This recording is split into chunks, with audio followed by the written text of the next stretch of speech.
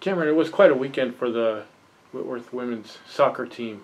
Just a, a hard fought battle against league leading Pacific Lutheran. Came up one goal short. You kept battling back against the Lutes.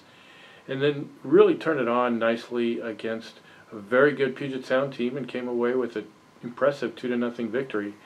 Uh, take us back through the weekend and as a coach, what you take out of the weekend and, and what you hope we can build on. Yeah. Yeah, first thing is just consistency with attitude. I've said it a lot. I'll keep saying it. We got to have this primarily. Uh, how we act on the field, how we work together, team chemistry, um, ability to make decisions, all those kinds of things are going to be primary for us. So, really proud for how we did that. The first half against PLU was difficult uh, to build out of our half, but we kept trying. We had some bright moments. We needed more bright moments in that first half.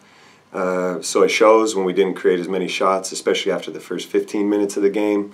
Uh, to be down 0 1, frustrating. There's one throw in moment. PLU played really well. They created a mistake. We made just a tracking, uh, two tracking errors really for them to go up uh, 0 1. So that was a, a challenge uh, in the first 15 minutes. We addressed that really well. Second half, we come out, we actually outshoot them.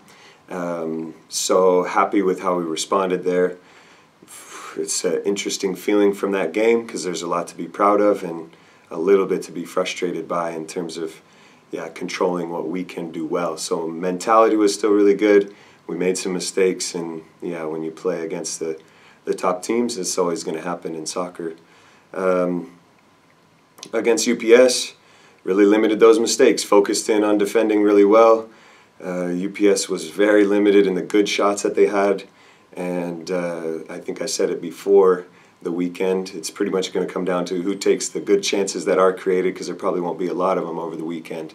And uh, we did. We converted two really, really nice goals.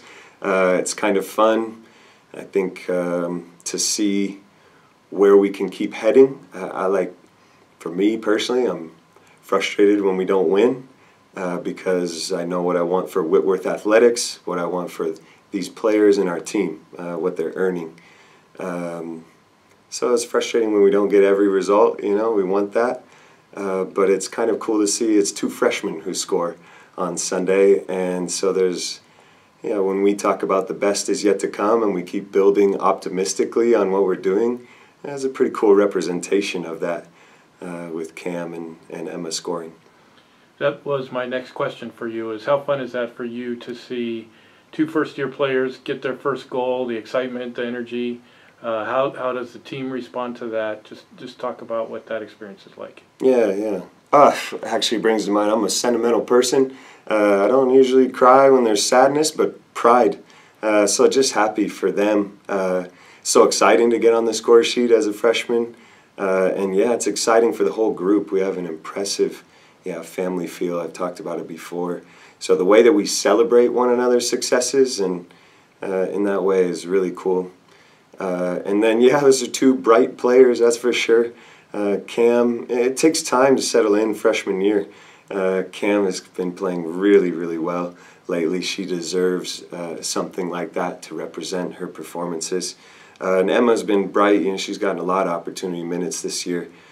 she's been bright from the jump probably could have a couple more goals, but uh, like I said, it takes time to settle in. So, uh, all we have six freshmen. All of them, I'm like massively proud of and satisfied with how they're they're playing. Uh, it's a really cool thing for our team. This week you uh, go on the road, uh, match at Whitman on Wednesday that um, has implications for conference standings, and then uh, a match at Pacific um, on the weekend, which is always a difficult place to play.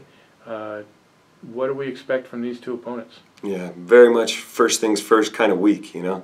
Uh, we look at Wednesday uh, uh, and have everything to be excited for. Eastern Washington rivalry.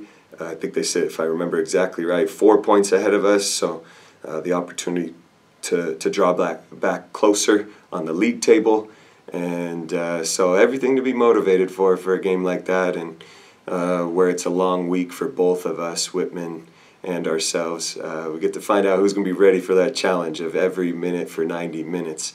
And so mentality will be first again, attitude will be first. Uh, they're an athletic and strong team. They haven't given up a lot of goals this year. Um, they're winning narrow margin games, so it will be a fun battle, probably right down to the finish.